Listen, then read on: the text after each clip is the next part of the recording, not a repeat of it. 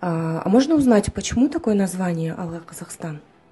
Ну, во-первых, Алга-Казахстан – это само по себе э, название такое говорящее, скажем так, вперед Казахстан. А мы устремлены вперед. Мы хотим, чтобы Казахстан вышел из нынешнего состояния.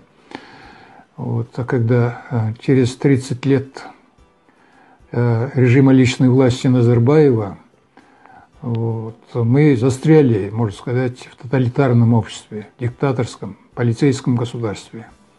И поэтому мы хотим чтобы наша страна двигалась вперед к демократии, к истинной, нормальной, реальной демократии.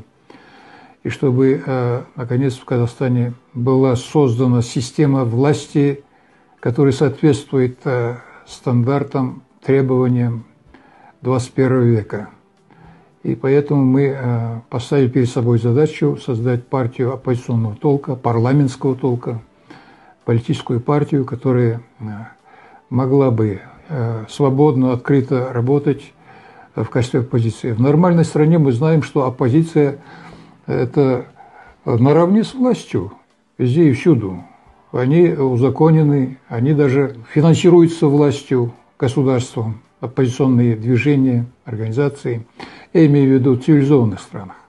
И у нас так должно быть. Поэтому мы и поставили перед собой такую задачу – а кроме того, Аллах Казахстан, вы знаете, что это как бы э, нынешний бренд, лозунг наш. Аллах Казахстан – это уже на устах наших э, граждан, ну, скажем, продвинутых, уже знающих, чего они хотят. Это наряду с известными э, такими же брендами, вот, скажем, «Слава Украине», «Живе Беларусь», «Алга Казахстан» – это тоже уже стало как бы привычным.